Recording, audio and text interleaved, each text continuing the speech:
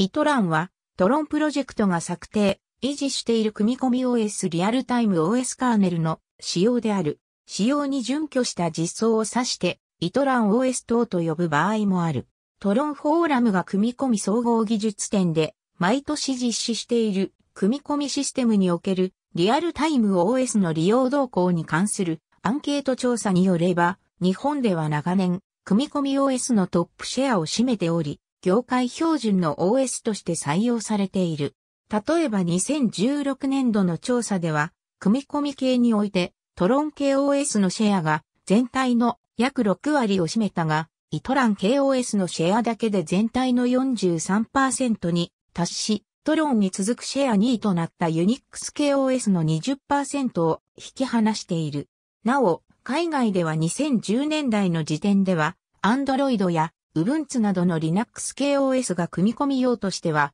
圧倒的で、イトランや T カーネルなどを含むトロン KOS は全く使われておらず、海外でも販売されている日本製家電製品やトヨタ自動車の車載用 OS として使われてきたという歴史的事実のみ知られている。海外ではあまり知名度がないが、日本製家電に搭載されて世界に輸出されているため、OS のシェア自体は高い。2003年の時点で OS のシェアが世界1位とされた。ライセンスが緩く無料だったので Linux が普及する2000年代以前はアジアでもかなり使われていた。μITRON を参照極めて性能の低いシステムから大規模なシステムにまで対応できることから、組み込み系 OS で大きなシェアを占める ITRON のサブセット、μITRON3以降は、 ITRON というと、μITRON のことを指す。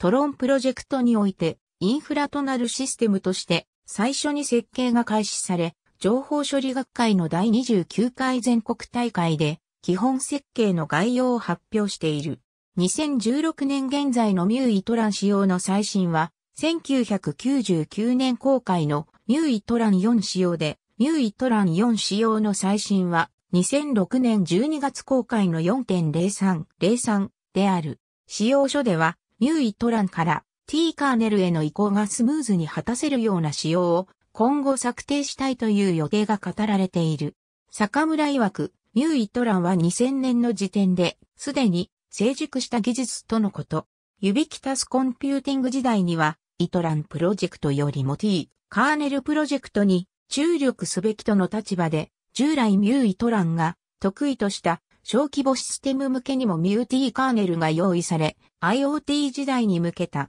μT-Kernel 2.0も用意されている。T カーネルは高度な情報処理を必要とする組み込み系システムで主に採用されているが、それほどでもないシステムでは依然としてμITRON が使われている。エンジン制御システムにミューイトランを採用したトヨタプロド本体のメイン OS にフリーブスド、コントローラーの無線通信制御用 OS にミュー、イトラン4.0を採用したゲーム機、ニンテンドースウィッチ組み込み用として、一般消費者の身近にはない機器や、エアコン、電子レンジ、炊飯器、テレビやゲーム機のリモコンなど、身近ではあっても見えないところの OS として採用されている。テレビ録画サーバーや自動車といった高度な機器にも採用されており、これらの機器ではシステム全体を制御する高度な OS の下に複数の Mac とそれらを制御する複数の OS が搭載されている場合があるので、メイン OS としては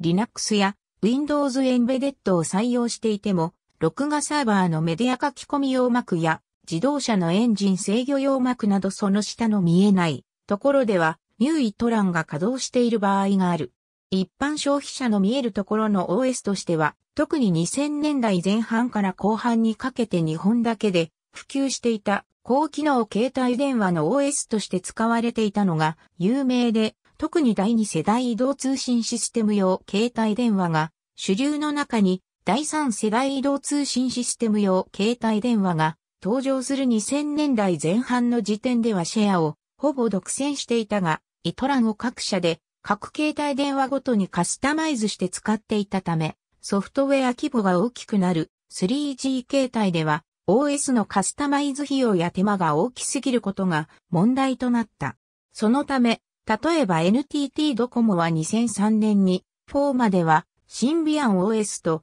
Linux が推奨されることを明言するなど、3G では、ガラケーにおいても汎用性のある OS が使われるようになったため、イトランのシェアは次第に少なくなった。メイン OS として使用されなくなった後も、カメラ制御用などとして SH モバイルなどの Mac と共に搭載されていたが、2017年のガラケー生産終了とともに、シェアは0%となりすべて Android に移行する。カメラ付きスマホの普及前となる2000年代において、多くの人がガラケーと同時に所有していたデジタルカメラのカメラ制御用 OS としての採用例も多く、その点でも2000年代当時はイトランを採用した多くの製品が一般消費者の文字通り手の中に存在した。2010年代でもエクシリムなどがイトランを採用している。イトランによって2000年代の日本では動画処理やネット通信を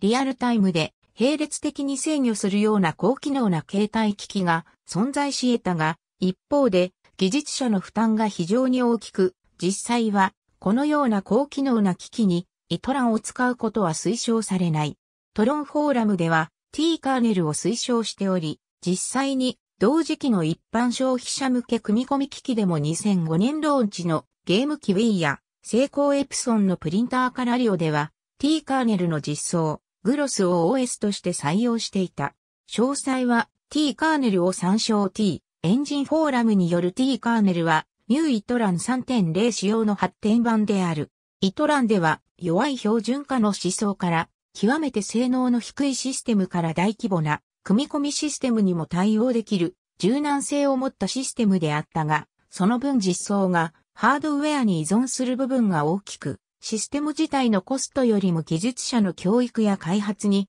かかる人的コストが相対的に重視される大規模な組み込みシステムではソフトウェアの移植性が低い、ミドルウェアの導入ができない技術者の負担が大きいといった問題があった。その反省から T カーネルはより強い標準化の思想でイトランの標準化を進め、互換性や移植性を高めることで、ミドルウェアの流通を推進し、大規模組み込みシステムにおける開発の効率を高めることを目的としている。詳細は TOPPERS を参照。 TOPPERS は ITRON の主要な実装の一つで、トパース JSP カーネルはニューイトラン仕様4.03に基づいている。 TOPPERS 新世代カーネルは ITRON 仕様に必ずしも準拠させないとしているが、 ITRON ベースである。テップ16405 U01 PDF TRON Forum ハット the most popular operating system in the world software